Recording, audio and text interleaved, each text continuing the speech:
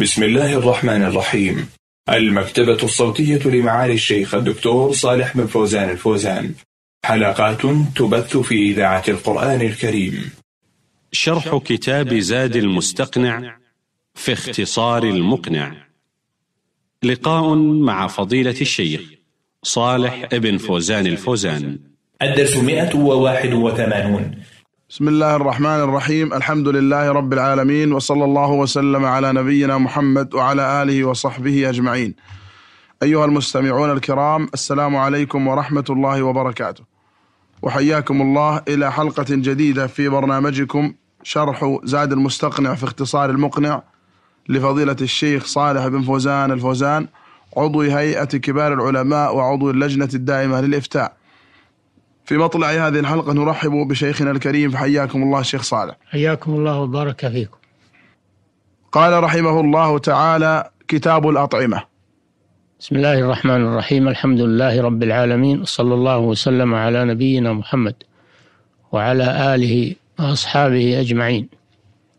هذا الكتاب يذكر فيه المؤلف رحمه الله ما يحل من الأطعمة وما يحرم. والأطعمة جمع طعام وهو ما يطعم ويشرب.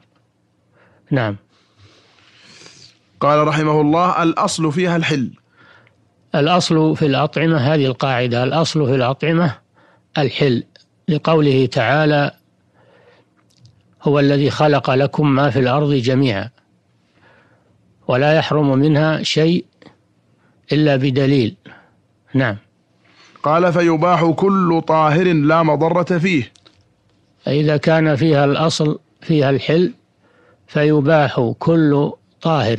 يخرج النجس كالميتة وغيرها من النجاسات لأنها من الخبائث. والله جل وعلا يقول ويحرم عليهم الخبائث. وأن يكون لا مضرة فيه مثل السم فإن السم فيه مضرة آه، لأنه آه، يفقد الحياة أو يؤثر المرض. والله جل وعلا يقول ولا تلقوا بأيديكم إلى التهلكة. فما كان خاليا من هاتين العلتين ما كان خاليا من هاتين العلتين. آه النجاسة والضرر فإنه مباح على الأصل. نعم. قال من حب وثمر وغيرهما. الأطعمة تتكون من قسمين حبوب وثمار وفواكه مما تخرج الأرض أو لحوم. فالحبوب كلها مباحة وكذلك الثمار كلها مباحة الحمد لله. والفواكه كلها مباحة إلا ما آه، وجد فيه العلتان السابقتان النجاسة أو أو الضرر. نعم. قال من حب وثمر وغيرهما. وغير الحب والثمر مما من كل ما تخرج الأرض من الخضروات والفواكه خلق لكم ما في الأرض جميعا. نعم. ولا يحل نجس كالميتة والدم. نعم هذا احتراز من الشرطين السابقين. فما كان نجسا فإنه لا يحل. وذلك كالميتة لأن الله سبحانه وتعالى حرم الميتة فقال حرمت عليكم الميتة. والعلة فيها النجاسة. فكل نجس فإنه حرام. وكذلك ما فيه ضرر. على الحياة أو على البدن فإنه حرام لقوله تعالى ولا تلقوا بأيديكم إلى التهلكة وذلك كالسم ونحوه. نعم. قال ولا يحل نجس كالميتة والدم. نعم. ولا ما فيه مضرة لا يحل ميتة لا يحل نجس كالميتة. والميتة ما فارق الحياة من غير ذكاة شرعية. هذه هي الميتة. حرمها الله جل وعلا بقوله حرمت عليكم الميتة. لأن الميتة تشتمل على أمراض وينحبس فيها الدم النجس فيكون في أكلها ضرر على صحة الإنسان. وكذلك الدم حرمه الله بالنص حرمت عليكم الميتة والدم لأن الدم أيضا يشتمل على أمراض وعلى ضرر. نعم. ولا ما فيه مضرة كالسم ونحوه. نعم. ويحرم كل ما فيه مضرة كالسم فإن فيه مضرة إما على الحياة وإما على البدن.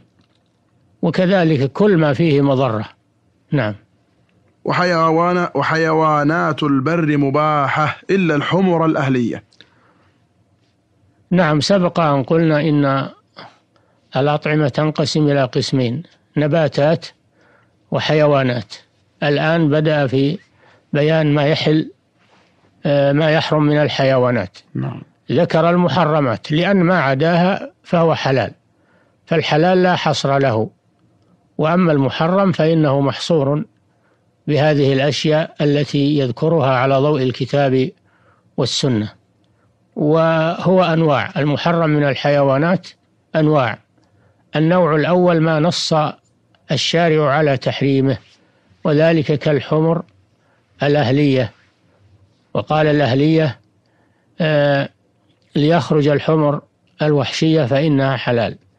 الحمر الأهلية المعروفة عند الناس التي يركبونها ويحملون عليها هذه حرام لأن النبي صلى الله عليه وسلم في غزوة خيبر قال إن الله ورسوله ينهيانكم عن لحوم الحمر الأهلية. قال إنها رجس. فالحمر الأهلية حرام بهذا النص. نعم. قال وحيوانات البر مباحة إلا الحمر الأهلية وما له ناب يفترس به. نعم. النوع الثاني مما يحرم من حيوانات البر ما له ناب يفترس به كالسباع. كالذئب و والأسد والفيل وكل ما يفرس بنابه فإنه حرام لأنه سبع. نعم. غير الضبع.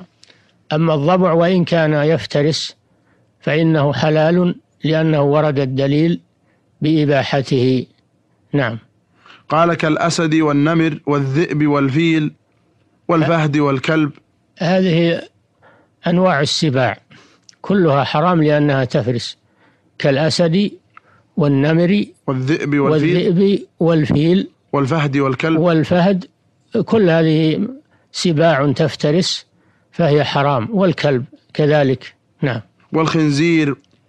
والخنزير لأنه خبيث الخنزير لأنه خبيث وجاء النص بتحريمه حرمت عليكم الميتة والدم ولحم الخنزير. والعلة في تحريمه أنه خبيث ونجس. نعم. وابن آوى. وذكره هنا مع مع المفترسات التي تفترس. فيكون فيه علتان. العلة الأولى أنه أنه خبيث والثانية أن أنه يفترس. نعم. وابن آوى. وابن آوى نوع من الكلاب. نعم.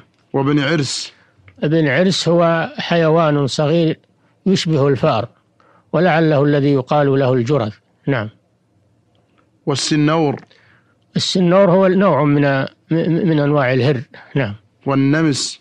والنمس وهو آه، حيوان يأكل الفار. نعم. والقرد. والقرد معروف.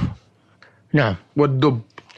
والدب أيضا حيوان يشبه الغنم وهو من السباع يفرس. نعم.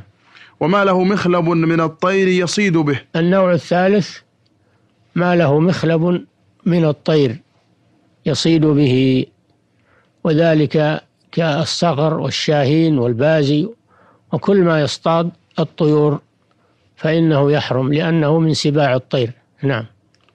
كالعقاب والبازي والصقر نعم. والشاهين والباشق والحدأة والبومة. والحدأة أيضا لأنها لأنها تفرس. والنبي صلى الله عليه وسلم أمر بقتلها ضمن الخمس الفواسق فهي حرام. نعم. وما يأكل الجيف؟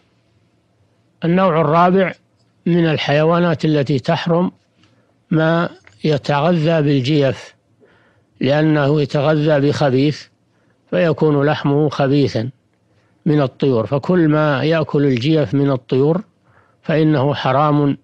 لأنه يتغذى بالنجس والخبائث فيكون لحمه نجسا ومحرما. نعم. كالنسر والرخم. نعم. واللقلق والعقعق. كل هذه تأكل الجيف. نعم. والغراب الأبقع. كذلك الغراب لأنه من الخمس الفواسق التي أمر النبي صلى الله عليه وسلم بقتلها وما أمر بقتله فإنه يحرم أكله. نعم. والغداف. الغداف. والغداف نوع, نوع من الغربان. نعم يعني الغراب بأنواعه. الغراب الأبقع والغداف وهو أسود صغير أغبر. نعم. والغراب الأسود الكبير. الغراب بأنواعه محرم إلا ما استثنوه من غراب الزرع. غراب يقال له غراب الزرع. هذا حلال. نعم. وما يستخبثه العرب. نعم. والنوع الخامس مما يحرم من الحيوانات ما يستخبثه العرب خاصة لأن العرب في الغالب يتنزهون عن الخبائث ولهم شيم. والله جل وعلا يقول ويحرم عليهم الخبائث وهذا مطلق يرجع فيه إلى العرف. فما تعارف الناس أنه خبيث فإنه يكون حراما. نعم. كالقنفذ والنيص والفأرة والحية. نعم هذا يستخبثه الناس ولا يأكلونه. نعم. والحشرات كلها. الحشرات لأنها مستخبثة فتحرم بأنواعها ولما فيها من الضرر. والسمية التي تضر الإنسان. نعم. والوطواط. والوطواط وهو الخفاش وهو الذي يطير في الليل. نعم. وما تولد من مأكول وغيره كالبغل. نعم. السابع مما يحرم من الحيوانات ما تولد من مأكول وغير مأكول كالبغل فإنه متولد من مأكول وهو الخيل وغير مأكول وهو الحمار. لأن البغل متولد من بين الفرس والحمار فهو متولد من مأكول وغير مأكول فيغلب فيه جانب الحظر وجانب التحريم. نعم. قال رحمه الله فصل وما عدا ذلك فحلال. وما عدا ما ذكر من هذه الأنواع التي آه، سبق بيانها في الفصل الأول فإنه حلال على الأصل. نعم. كالخيل. والخيل من الطيبات وهي حلال ولأن النبي صلى الله عليه وسلم لما نهى عن لحوم الحمر الأهلية أذن في لحوم الخيل. وقالت أسماء رضي الله عنها نحرنا فرسا على عهد رسول الله صلى الله عليه وسلم فأكلناه. نعم. وبهيمة الأنعام. وبهيمة الأنعام هذا بالنص لأنها من الطيبات ونص الله على إباحتها بقوله أحلت لكم بهيمة الأنعام. والمراد ببهيمة الأنعام الإبل والبقر والغنم. نعم. والدجاج. كذلك الدجاج هذا من الطيبات. وقد أكل النبي صلى الله عليه وسلم من الدجاج. نعم. والوحشي من الحمر. الوحشي من الحمر سبق أن الحمر الأهلية حرام وأما الحمر الوحشية فإنها حلال لأنها من الصيد. نعم. والوحشي من الحمر والبقر. والبقر والبقر الوحشية أيضا. البقر حلال بنوعيها الأهلية والوحشية. والوحشية لكن الوحشية تكون من نوع الصيد. نعم. والظباء. والظباء جمع ظبي. وهو الغزال نعم. والنعامة والأرنب. النعامة طائر يشبه البعير يشبه البعير وهي حلال لأنها من الطيبات نعم. والأرنب. والأرنب كذلك لأن الصحابة كانوا يأكلون الأرنب نعم ويصطادونها نعم. وسائل الوحش. وسائر الوحش مما لم يسبق ذكره في المحرمات. نعم. ويباح حيوان البحر كله. نعم الحيوانات على قسمين حيوانات برية وذكر المصنف ما يحرم منها وما يباح منها ثم انتقل إلى النوع الثاني وهو حيوانات البحر. فحيوانات البحر مباحة ولقوله تعالى أحل لكم صيد البحر وطعامه متاعا لكم وللسيارة. وللسيارة. فصيد البحر كله حلال إلا ما استثنى. نعم. قال إلا الضفدع والتمساح إلا. الضفدع إلا الضفدع لأنه نهي عن قتله ولأنه يستخبث. نعم. والتمساح. والتمساح لأنه. لأنه يفرس بنابه ويأكل الناس فهو يدخل في السباع. نعم. والحية. والتمساح يعيش في البر وفي البحر. نعم. والحية حية البحر. حية البحر لأنها مستخبثة أيضا فهي مثل حية ال- البر. نعم. ومن اضطر إلى محرم غير السم حل له ما يسد رمق حل له منه ما يسد رمقه. لما ذكر المحرمات من الحيوانات والطيور والحبوب والثمار. لما ذكر المحرم من هذه الأشياء انتقل إلى بيان جواز تناول ذلك عند الضرورة. فإذا اضطر الإنسان إلى أن يأكل شيئا من هذه المحرمات بحيث لو لم يأكله فإنه يموت فإنه يباح له أن يأكل من الميتة وأن يأكل مما وجد من هذه المحرمات. إلا السم فإن السم ضرر محض ولا يباح في الضرورة لأنه ضرر ولا ولا ينفع بل يضر. نعم. قال حل له منه ما يسد رمقه. يحل للإنسان من المحرم للضرورة قدر ما يبقي عليه حياته. ما يسد رمقه أي ما يبقي عليه حياته. حياته ولا يزيد على ذلك فلا يشبع من آه، الميتة أو ما شاكلها من المحرمات وإنما يتناول منها بقدر ما يدفع عنه الضرر. لأن لأن لأنه إذا اندفع الضرر رجع إلى الأصل وهو التحريم. نعم. أحسن الله إليكم. قال ومن اضطر إلى نفع مال الغير مع بقاء عينه لدفع برد أو استسقاء ماء ونحوه وجب بذله له مجانا. نعم هذا استطراد إلى مسألة وهو إذا احتاج الإنسان إلى مال الغير لأن الله جل وعلا حرم أموال الناس إلا بطيبة من أنفسهم. قال تعالى آه، ولا تأكلوا أموالكم بينكم بالباطل. وقال النبي صلى الله عليه وسلم لا يحل مال امرئ مسلم إلا بطيبة من نفسه. لكن إذا اضطر الإنسان إلى ما إلى مال الغير بحيث آه، اضطر ضرورة لا تندفع إلا باستعمال مال الغير فإنه يباح له ذلك بقدر الضرورة. ويستثنى من قوله صلى الله عليه وسلم لا يحل مال امرئ مسلم إلا بطيبة من نفسه. نعم. قال ومن اضطر إلى نفع مال الغير مع بقاء عينه لدفع برد أو استسقاء ماء ونحوه وجب بذله له مجانا. إذا اضطر إلى إلى مال الغير فلا يخلو. إما أن يضطر إلى نفعه فقط مع بقاء عينه. نعم. فهذا يجب بذله له مجانا. يجب على صاحب ما هذا المال أن يبيح الانت- يبيح للمضطر الانتفاع به إلى قدر ما يدفع ضرورته. كما لو احتاج إلى الثوب. لو احتاج إلى الثوب يستر به عورته أو أو يستدفئ به من البرد فإنه لا يجوز لصاحبه أن يمنعه آه، لما في ذلك من آه، قضاء ضرورة أخيه المسلم.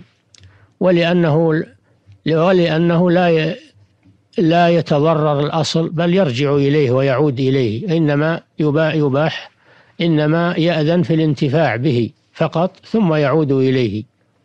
نعم. هذا إذا كان يا شيخ قلت إن كان اضطراره إلى مال الغير إذا كان مضطرا إلى نفعه مع بقاء عينه. أي نعم هذا نوع. قال ومن مر بثمر بستان في شجر أو تساقط عنه ولا حائط عليه ولا نعم نار. أعد العبارة الأولى. وقال ومن اضطر إلى نفع مال الغير مع بقاء عينه لدفع برد أو استسقاء ماء ونحوه وجب بذله له مجانا. لدفع برد كما لو احتاج إلى ثوب ليستدفئ به ولو لم آه، ولو لم يحصل له هذا الثوب يخشى عليه من الموت. فإنه يجب على صاحب الثوب بذله له مجانا إنقاذا لحياته. أو استسقاء ماء. أو احتاج إلى إلى دلوه. إلى حبل أو دلو لأجل أن يغترف به من البئر. ليشرب فإنه فإنه يجب على صاحب الحبل أو الدلو أن يعيره إياه لأجل الإبقاء على حياته. نعم. ومن مر بثمر بستان في شجر وأما إذا إذا كان مال الغير يتلف مثل الطعام نعم. مثل الطعام يتلف إذا استعمله المضطر فهذا إذا كان بلغت به الضرورة إلى حد الخطر فإن له أن يأكل من مال الغير. له أن يأكل من مال الغير ويكون مضمونا عليه يدفع له قيمته. نعم.